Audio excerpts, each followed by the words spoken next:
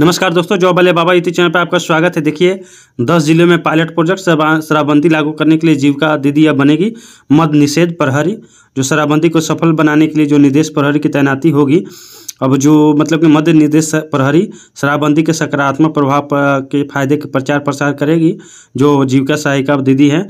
और मतलब कि अब प्रचार प्रसार करेंगी। और प्रहरी के रूप में जीविका दीदी को भी तैनाती होगी, लेकिन अब शराबबंदी को सफल बनाने की बड़ी भूमिका निभाती रही है और मध्य प्रदेश जो है, मध्य निदेश प्रहरी योजना पहले की तरह जो है पहले चरण में जो पायलट प्रोजेक्ट के तहत नालंदा, पटना गया, मुजफ्फरपुर, वैशाली, सारण, भोजपुर और वो समस्तीपुर में इसे लागू करेगा। किसी व्यक्ति पर जो मद निषेध अधिनियम के तहत कोई केस चल रहा है, वो दोषी करार दिया गया तो मध्य प्रहरी नहीं बनाया जाएगा।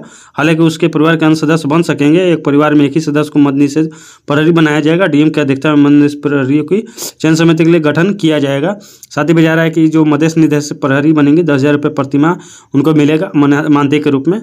और जो है, बताया जा रहा है कि शराबबंदी को सख्ती लागने के मध्य से प्रहरी योजना की गाइडलाइन जल्द ही अमल किया जाएगा। इलाके में मध्य से प्रहरी सभी प्रावधानों को लागू किया जाएगा। इसी तरह के इन्फॉर्मेशन चैनल को ज़रूर सब्सक्राइब वीडियो देखने के लिए।